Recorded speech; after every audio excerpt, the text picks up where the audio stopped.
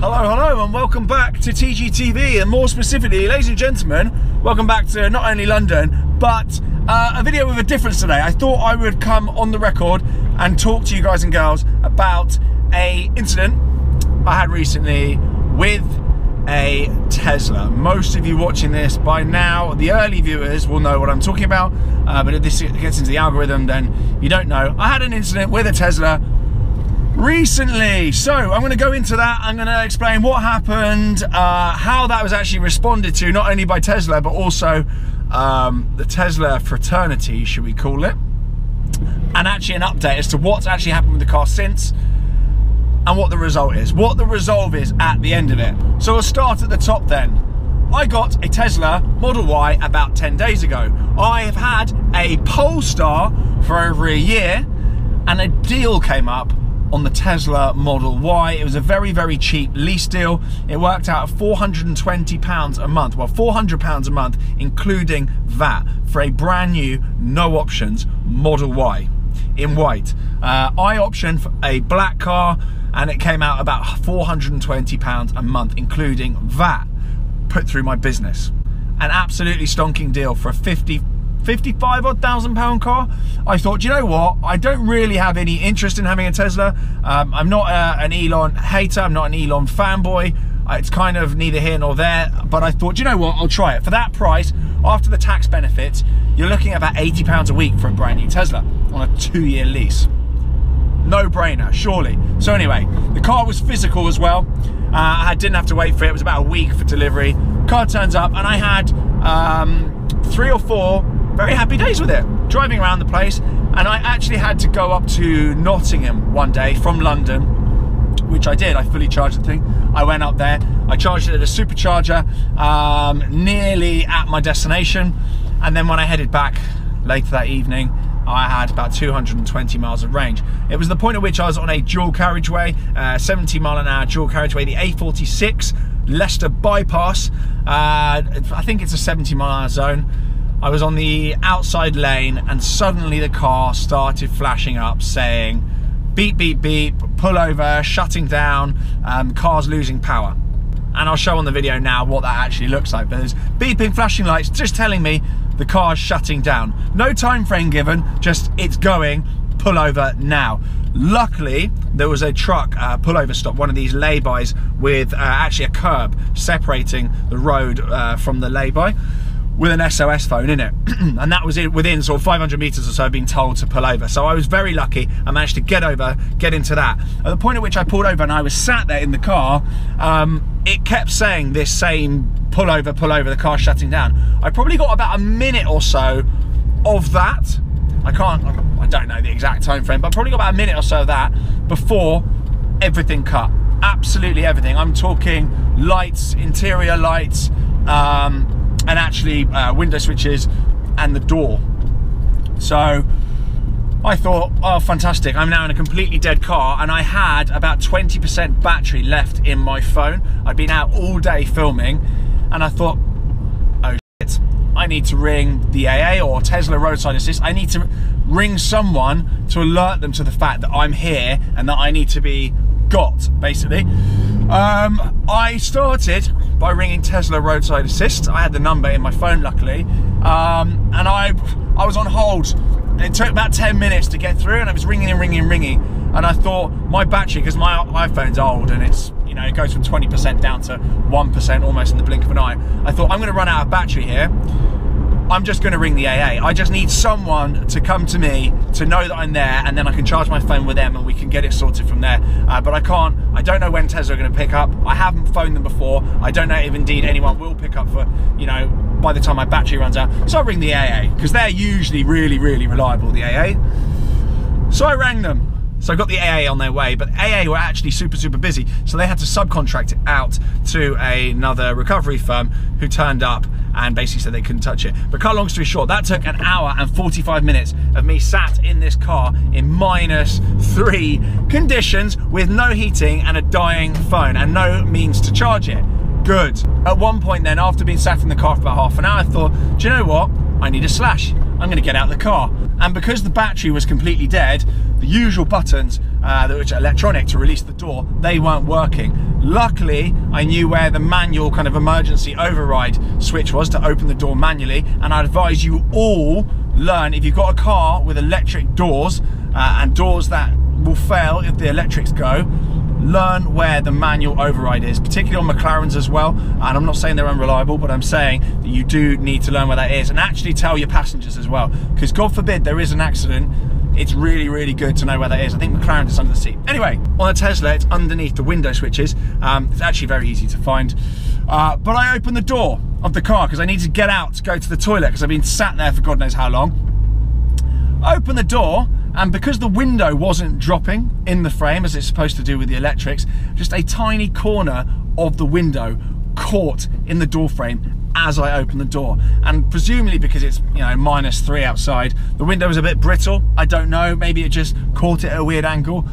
The window cracked. It spidered across the whole window. Didn't fall in, glass didn't go everywhere, but it just cracked across the window. I was not very amused. Not very amused at all. Anyway, got back to the car to get back in after I finished doing my business, and it was actually left a gap across the top, which was letting in even more cold air, which again, I wasn't particularly amused by. AA guy turns up eventually um, and basically says, car's dead, can't really do anything. Speak to roadside assist Tesla, um, to which point I did managed to charge my phone with him and Tesla said we're going to be about an hour or so before we know when we can send someone out to you great. But they did log into the car over the air and they said, do not try and jump it, do not try and boost it, don't try and get it into tow mode, leave it alone. Whatever's happened, the car is essentially just cooked, it's bricked. Don't touch it, just leave it alone. Um, because there's been some sort of uh, catastrophic failure basically, uh, which means everything's cut out. Um, not great. And bear in mind the car at this point was 216 miles or so of range. Again, I'll show you the screenshot on the screen. Um, I'm backing everything up here because I put this on Twitter and I, I, did quite an angry tweet at the time saying car's packed up, it's cut out whilst I was doing 70 miles an hour, like absolutely unacceptable. Uh, and I called the whole thing a show. And I tagged Elon Musk. And immediately I was greeted by people saying, I'm a paid actor, I'm working for the left wing, I'm trying to bring down Elon, you know, all these mad conspiracy theories, and also, all cars break down, what's your problem? Uh, mind blowing, really. Absolutely mind blowing. What, what my problem is, and what my problem was, is that I dealt with that okay, but I'm, you know, a fairly young, fit bloke, fairly experienced driver, driven all sorts of stuff. Um, I was okay. I was alone in the car. What if I'd been single mum, young children, dogs, elderly, pregnant, ill, you know, vulnerable in the car, stuck on the side of the road, no phone battery, but what if also, and this isn't inconceivable, I'm not making up wild what ifs, this is very, very conceivable. What if within the next minute or so, there wasn't anywhere to pull in? What if I'd been on a smart motorway? The car is black, the car cut out completely, no lights whatsoever. It was a misty evening. You know, it's not inconceivable that that could have cut out in a 70 mile an hour zone on a smart motorway, nowhere to pull in, or just somewhere with no laybys, which happens, a country road, and then you're sat there in a black car with no lights on and not necessarily knowing how to get out. Some people in a panic will not necessarily um, think properly and logically. You might not even have that much time to get out. It didn't occur to me fully immediately that the button on the door wouldn't even work. Um, again, I'm a bit boring, so I knew where the emergency override thing was, but are you supposed to train your passengers before you get into these cars? Are you supposed to tell everyone before you get in a Tesla? Oh, by the way, guys, if it cuts out speed and we end up in the death zone on a motorway, uh, this is how you get out without any electricity. There was all sorts of things that could have happened very, very easily as a result of a brand new car catastrophically failing whilst doing high speed. That's why I was annoyed. Uh, and frankly, if I didn't have an issue with that, there'd be something hugely, hugely wrong with me. So I got so much abuse on Twitter, so much abuse, just calling me a liar and just basically saying, you know, what is my issue? And I've just explained my issue, which I think is totally, totally fair. I know cars go wrong. I know they break down. Cars have broken down on me before, but I've never had, in years of driving pretty much everything under the sun, owning and also being uh, lent press cars, I've never had anything like that happen to me. I've never been in such a precarious situation and actually got away with something so bad happening so lightly. Um, so for all those people calling me a paid actor um, to attack Elon and bring down his empire, no, I've never been anyone that's invested in what Elon says, what Elon does. Uh, I couldn't quote two things that he's ever said. I've got no interest, um, and not in a negative way. I'm just completely, completely uh, separate to it. I just don't pay attention. Um, so, and also Tesla, I wanted it to be a good car. I have no axe to grind with Tesla whatsoever. I don't care. Um, I've worked with a number of different electric car brands over the years. I don't have an invested interest in trying to crush the share price of Tesla. I, I don't care. I, I, literally don't care. Um, so if you're watching this and you're getting hot under the collar about Tesla and Elon and whatnot and, and screaming at me, I would I would save it. That's not my gig. It's not my job. I was just a customer that nearly got wiped out. Um, so Eventually, then I said to the AA guy because he didn't want to he didn't want to drag it onto the truck. He didn't want to uh, try and bump it or start it or put it in tow mode, which he was correct on all of those fronts. Um, I'd called Tesla Roadside Assist. It took a while, a bit of back and forth, probably about half an hour, 35 minutes to actually get them to get someone on their way. Eventually, a subcontracted recovery firm who are fantastic um, came along. I think they're called Anderson Commercial. Anyway, they turned up. They were brilliant. Um, but I got the AA guy to take me to the 24 hour services uh, where I sat in Burger King for another two hours or so whilst my Tesla sat on the side of the road. Another complication occurred due to the, uh, the car locking itself and kind of my fault. I let the door close whilst I was out of the car. I left all my stuff inside the car. So I was on the side of the road with a completely locked car and all my belongings inside but it did have a cracked window. So I actually had to end up ripping the top of the window down to get back into the car to get my stuff out. So yeah, that, that didn't feel particularly uh, feel particularly safe. Um, and then I, you know, I got glass in my hand and all sorts of stuff. Then um, that was partially my fault. I let the door close when I was out the car. It slammed. Okay, and I should have been more on it, thinking I'm not going to be able to get back in. But in those sorts of moments, I'm absolutely frozen by this point. I hadn't dressed to go out um, Arctic camping, so I was absolutely freezing. You know, had I been 80 years old, might got hypothermia quite easily. Quite easily. Know, I ended up breaking my window even more to get into the car. Not a great feeling on the side of the road. Must have looked like a right yob. Um, right, so eventually the recovery guys came to get the Tesla. I met them at the services. I gave them my key card. I gave them the what three words as to where the car was and they went and got it without me. I had no interest in going back to the car and I actually left the car open with the window broken on the side of the road because I just thought, I can't stay with this car any longer. It's gonna be another three hours. I'm off to the services. I ended up having to book a hotel room that night at Leicester Forest East Services. Welcome break there. Uh, 55 quid on a hotel room, lovely stuff. Um, no gripes with that hotel whatsoever. It is what it is. Because I was having to head up to Scotland the next day, so there's no point me trying to get back to London at 2 a.m., 3 a.m. In, in some sort of arranged transport, which would have taken ages. I just thought I may as well just get my head down and, and try and join my train that I'd booked on the way back up. It was another 60 quid or so to catch my train to go back up to Scotland the next day where I was filming something for a, for a whiskey brand. But they recovered the car. I went down to bed for the night at a lovely hotel. And in that time, Tesla, to their credit, reached out to me. A lovely chap called Marco reached out to me and said, We're really sorry this is happening. Um, we will pay for your hotel room up to a value of 150 pounds or 150 euros. Um, here's a form to fill in. Um, happy days, basically um, which I thought fair dues. That's cool. That was cool, and they were very, very, very nice. They were not rude about it. Um, they were good eggs. They were good eggs. So I'm not, I'm not bashing Tesla. It's not the fault of the staff that the car's gone wrong. And you know, cars do go wrong. So yeah, they reached out and they said, we'll pay for your hotel room. I haven't actually filed that claim yet, but I will do that and I will try and claim for the additional transport costs I've, I've faced as well, like a cab in the morning, all sorts of stuff. Um, but they've been really helpful. So the car got recovered. That was on a Friday. We're now Tuesday the 13th and I've just had it from um, Tesla Nottingham, the service centre where the car's gone to. I've had Paul there on the phone to me.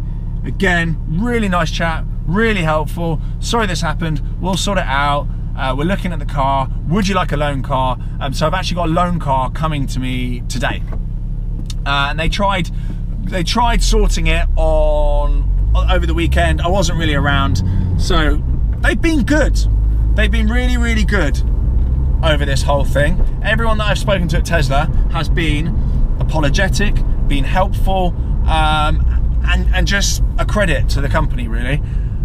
So I'm not griping there, not griping there whatsoever. Um, do I think all Teslas, this happens to them? No. Do I think you should not buy a Tesla because of what's happened to me? No. I mean, bear it in mind. Um, it's not isolated, it does happen. And the lady on the phone, when I spoke to her, originally it's uh, Roadside Assist, she says, you know, this can happen. You know, sometimes I think it's to do with uh, the software updating whilst you're driving, something like that. Um, but it does sometimes happen. So no, not a smear campaign on Tesla at all. I've just got so many questions on the thing. I just thought I would run you all through it. Uh, and since then, Paul's actually been in touch about an hour ago before I made this video. And this is why I'm making it now, saying your car has been looked at. It was a PCS failure. He wasn't really a million percent sure what that means. I'm not a million percent sure what that means. Uh, he said it's a relatively simple fix, which is great. He said all we're waiting on now is actually the glass on the window. So I've got to wait for that. But a loan car, a Model 3 Performance, I think, has turned up at uh, my girlfriend's parents' house. So that is very good of them. So they've offered to pay for hotel. They have sent me a loan car. They've apologised. They've jumped on the issue straight away to fix it. I'm not really sure there's much more they could have done about this to make it any better. Other than building the things properly in the first place. No, look, it, it does go on. And if I didn't raise a grievance, then there would be absolutely something wrong with me. It could have been a lot worse. I'm just thankful it wasn't. I'm not being dramatic about it as well. Some people are saying you're being super dramatic. I'm not being dramatic at all. It's not. It wasn't a particularly dramatic incident for me, if I'm honest. It was pretty, pretty lackluster and pretty, pretty calm, to be fair. Um, it was just annoying. It was just really, really annoying. Uh, it has meant that I've had to drive around in different cars this whole time. Oh, and the loan car actually is a bit of a win from Tesla because it's got free supercharging with it. So I've got free charging on that car for as long as I have it. So I've said to Tesla, I've said just keep mine for as long as you want. Because uh, obviously you don't get free charging with the new cars now. You only get it with the historic, uh, the old Model S's or whatever they were. Some of the older cars have still got free supercharging with them, but uh, the new ones definitely don't. So I was like, yeah, you keep that for as long as you want. I've also got uh, the performance car landing and my Model Y is not a performance car. Um, going back then to why I bought a Model Y, I don't know, no I'm joking. I actually bought it because my girlfriend's about to pass her test uh, and my manager Mahmood needs a run around. Uh, I probably won't have the Polestar forever um, so I thought, why not just jump on this really, really good deal? Because it's a sort of 600 odd quid a month car usually. Uh, for 400 quid, I just thought, you know what, it's such a good deal. I'm going to find use for it. I'm in and out of London the whole time. Let's just get it ordered. There's no weight on it. Uh, and just actually just try Tesla, to be honest. Um, so that's why. That is why. Um, and I never even intended on putting this car online. It was actually supposed to be one of my offline cars, because I do have offline cars. Um, and it was supposed to just be part of the uh, anonymous fleet, shall we say. Um, but here we go. It's made itself very known. Um, other than that, I don't really know what to tell you. Other than if you want a really good laugh and see some absolutely bonkers conspiracy theorists and people that are absolutely and totally deluded, please do hit my Twitter and go and find my uh, Tesla tweet and see some rudeness. Um, it's just absolutely mind blowing. I think that's it. I think that's it. Apologies for the rush nature of this. I'm actually off filming in London today, Berkeley Square. I'm doing some stuff with Centurion ahead of my 992 GT3 touring landing. I'm off to go and get something from Centurion. So that video will be out very, very soon. And um, yeah, uh, you'll, you'll see that. I think I'll be filming some of that actually in this car as well. So it might look quite samey. I think then, I think that's everything. I think that's absolutely everything. Yeah, I just kind of want to knock on the head anyone that's got some wild theory as to why I brought up that my car could have killed me or or even people that now think Tom's being nicer than I thought he would be about Tesla. Um, maybe they've paid him off. Maybe they've done something or other, or maybe you know he's he's being nice for a reason. I'm literally just being completely down the line honest about what's happened. I can't slag them off for the way they've actually handled this whole thing. They've been a little bit slow. There's been a bit of like kind of schlepping about, and you know, but they've got a million and one people to deal with. I'm a nobody. Um, I do wonder though I do do wonder, on that note, I am a nobody, but I have caused a bit of a fuss online. I do wonder how Tesla would have reacted had it just been um, someone that isn't a social media idiot that's had this happen to them. I'd be interested to know if this has happened to you, how Tesla resolved it and how they treated you because I never know sometimes whether it's just because I'm a social media idiot and people want to shut me up whether or not I get treated better than kind of your normal decent man in the street. Um, so yeah, I, I, would be interested in that.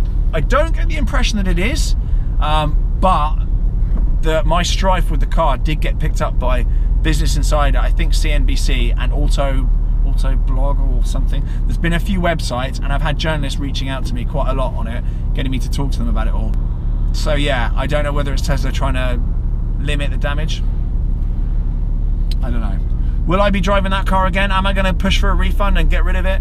No. I'm going to get it fixed. I'm going to try it. You know, if something happens again of that magnitude, I will hit the roof and I will not be as reasonable about it. But until then, I'm going to give it another chance when the car comes back and we'll see how it all goes. Uh, for now then, I'm going to leave things here. I'm nearly at my destination. So thank you very much for watching. If you've got this far, uh, and I definitely expect World War III in the comments. So um, have a good time with that. Make sure you subscribe, blah, blah, blah, and I'll see you all very soon. Bye.